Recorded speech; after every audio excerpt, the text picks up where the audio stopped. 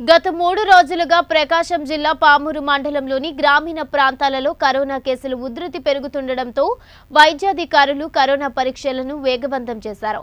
ఈరోజు Ongole RIMS hospital నుంచి పామూరు మండలానికి కేటాయించిన వీర బస్సులు మండల వైద్యాధికారి డాక్టర్ కె కామాక్షయ్య పర్యవేక్షణలో ఒంగోలు రిమ్స్ హాస్పిటల్ నుంచి వచ్చిన lab technician U Nirmalavathi Kuntala Ayyavaripalli Venkatapuram గ్రామాలలో తొంభై మందికి కరోనా పరీక్షలు నిర్వహించారు.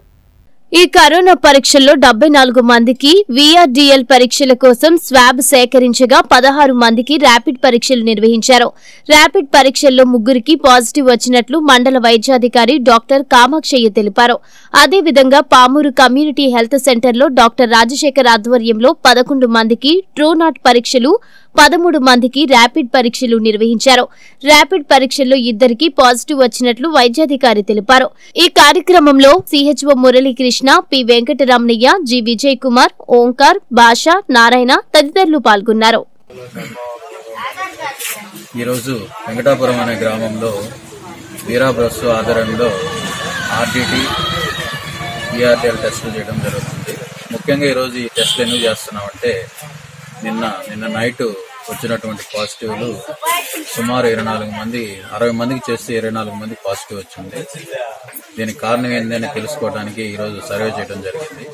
ఇక్కడ సర్వే చేస్తే ఈ సర్వేలో భాగంగా ఒకరికి వచ్చిన తర్వాత ఏఎన్ఎంలు కానీ ఆశాలు కానీ అంగన్వాడీలు వాలంటీర్లు చెప్పిన మాట వినకుండా అందరూ వాళ్ళ పాటికి వాళ్ళు తిరగటం వలన మాస్కులు పెట్టుకున్న పూర్తిగా నిర్లక్ష్యం వలన ఇలా రావడం జరిగింది. ఈ విషయం తెలుసుకున్న వెంటనే మేము మా సిబ్బందితో వైద్య సిబ్బంది మేము అందరం కలిసి ఇక రావడం వాళ్ళకి అవేర్నెస్ ప్రోగ్రామ్ పెట్టడం కూడా జరిగింది. అందరూ అంటే ఈ ఇరవై నాలుగు మందిలో కూడా ఎక్కువగా సిమ్టమ్స్ లేని ముఖ్యంగా వాళ్ళు ఏ సిమ్టమాటిక్స్ అయినా కూడా ఫోర్టీన్ డేస్ ఇంట్లో నుంచి బయటికి రాకూడదు. హోమ్ క్వారంటైన్లోనే ఉండండి. ఎవరికైనా అవసరం అయితే ఏదైనా మెడికల్ మెడికల్ ఎమర్జెన్సీ ఏదైనా సిమ్టమ్స్ ఉంటే వెంటనే తెలియజేస్తే మేము వాళ్ళని వెంటనే షిఫ్ట్ చేస్తాం షిఫ్ట్ చేయడం జరుగుతుందని చెప్పాము. అయితే వాళ్ళలో కూడా కొంతమందికి vitamins vitamin C tablet paracetamol tablets ఇవ్వడం జరిగింది. ముఖ్యంగా ప్రజలు తెలుసుకోవాల్సింది ఏంటంటే పల్లెటూరులో ముఖ్యంగా స్ప్రెడ్ అనేది ఎక్కువ జరుగుతుంది. దీనికి కారణం ఏంటంటే నిర్లక్ష్యం. ఈ నిర్లక్ష్యాన్ని ఇప్పుడు కూడా పోగొట్టుకోకపోతే ఆల్రెడీ మన మండలంలో అయ్యవారిపల్లి పందులవారిపల్లి ఆ, కోటవరం కేసులు వస్తున్నాయి. మామూలు టౌన్ తగ్గిన తర్వాత ఇక్కడ పల్లెటూరులో వస్తుంది ముఖ్యంగా ప్రజలు ఎవరింట్లో వాళ్ళు ఉండి జాగ్రత్తగా ఫోర్టీన్ డేస్ ఎవరికైనా పాజిటివ్ వస్తే సిమ్టమ్స్ ఏమి లేకపోతే మేము మా సూచనల ప్రకారం హోమ్ క్వారంటైన్లో ఫోర్టీన్ డేస్ కంపల్సరీ ఉండాలి.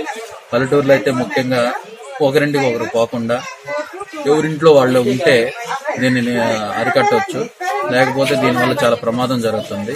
దయచేసి మీరు ఇది నేను చాలా సార్లు చెప్పాను మళ్ళీ మళ్ళీ చెప్తున్నాను.